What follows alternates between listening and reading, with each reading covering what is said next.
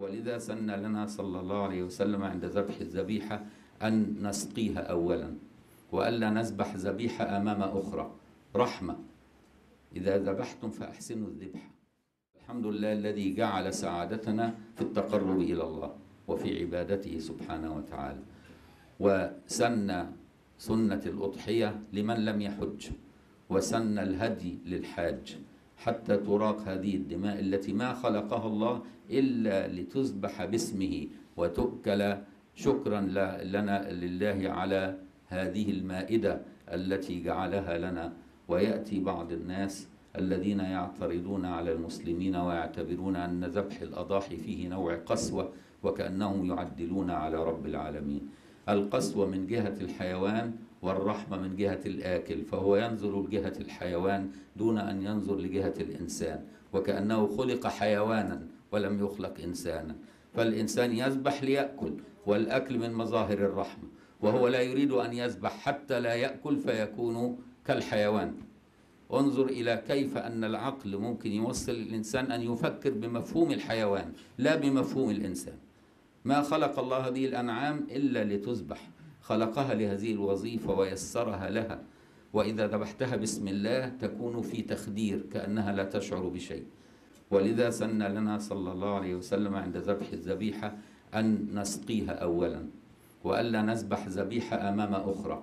رحمة. إذا ذبحتم فأحسنوا الذبح وإذا قتلتم فأحسنوا القتلة. فأمرنا صلى الله عليه وسلم حتى إذا أردنا أن نشحذ السكين لا نشحذها حتى أمام هذا البهيم هذه البهيمة التي جعلها الله سبحانه وتعالى نوع إدراك.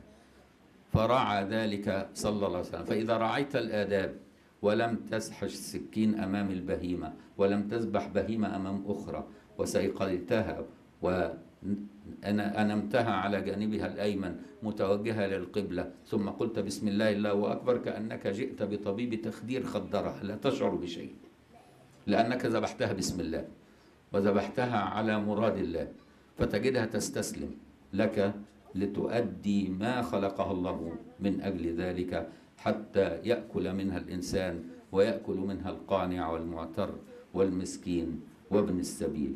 فالحمد لله الذي هدانا لهذا وما كنا لنهتدي لولا أن هدانا الله. فيسن لمن يكون عنده أضحية أن يذبح أضحيته بعد صلاة العيد. فإن ذبحها قبل صلاة العيد فهي شاة لحم أو مطلق صدقة ولا يأخذ ثواب الأضحية. أما الأضحية فإن الله يغفر بمجرد خروج الدم منها ذنوب أهل البيت الذين ضحوا. وتأتي هذه الأضاحي يوم القيامة على الصراط تكون وسيلة ركوب على الصراط تعينك على هذه المسافة التي بينك وبين الجنة حتى تدخل الجنة وأنت مستريح. ولذلك سن لنا صلى الله عليه وسلم أن نأتي بالأضحية تكون صحيحة البدن في عافية كاملة الخلقة لأن الله طيب لا يقبل إلا طيبا فإذا أردت أن تضحي فضحي بالجيد من الحيوان حتى يكون عبادتك خالصة. وسيدنا رسول الله صلى الله عليه وسلم كان يضحي وضحى بكبشين أملحين وقال الأول عن محمد وآله والثاني عن أمة محمد صلى الله عليه وسلم. هكذا ينوب عنا صلى الله عليه وآله وسلم لأنه يقول أنا منكم بمنزلة الوالد من ولدي. فما نحن إلا أسرة واحدة أبونا فيها محمد وأزواجه هي أمهاتنا.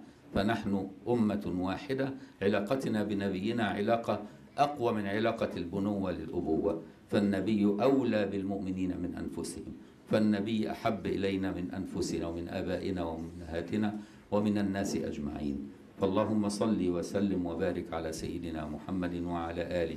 فإذا ضحيت بأضحيتك فعليك أن تأكل منها ولو وجبة واحدة. النبي كان يأكل وجبة واحدة من أضحيته ويتصدق بالباقي ويهدي الباقي. هكذا كان يفعل. ثم بعد ذلك أجاز النبي على سبيل الرخصة أن نأكل ونهدي ونتصدق وندخر. وهناك من لا يفعل إلا الادخار. فعليك أن تفعل سنة النبي كاملة. تدخر وتأكل وتتصدق وتهدي حتى تكون كاملا في فعلك للنبي. فإن ضحى الأضحية ولم يتصدق ولم يهدي وأكلها كلها أخذ ثواب الأضحية. ولكن لا يأخذ ثواب الصدقة ولكن عليك إذا فعلت العبادة أن تحاول أن تأخذ العبادة بالأدب النبوي الشريف. حتى تحظى بالأجر الكريم.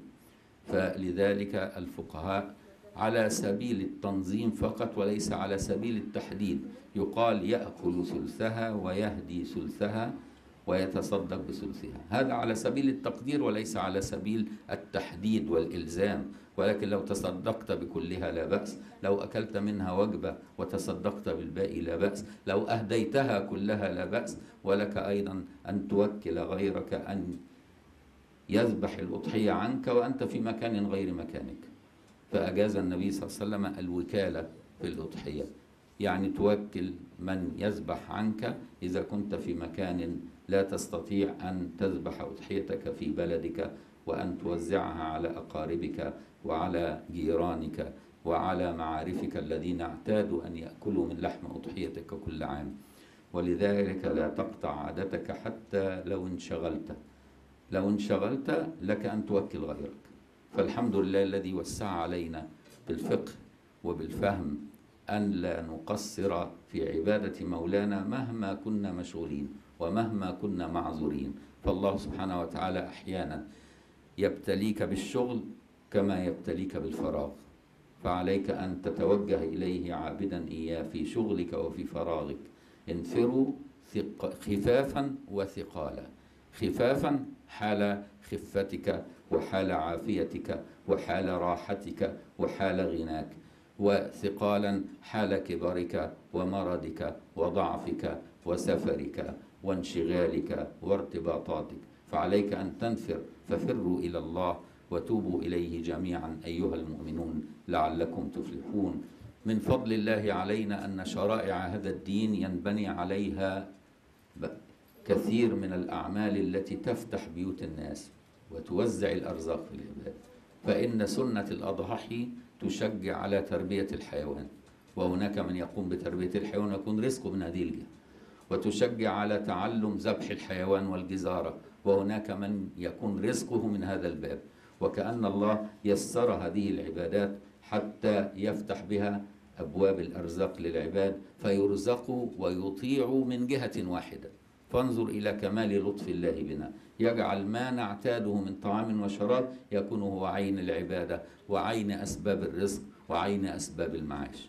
فالله سبحانه وتعالى عندما فرض علينا الحج يسر القوافل ووسائل المواصلات ويسر الطرق وأمن الطرق وعبدها. كل ذلك كان أسباب لتجارات كثيرة نشأت حول شعيرة الحج وشعيرة الهدي. وشعيرة الأضحية.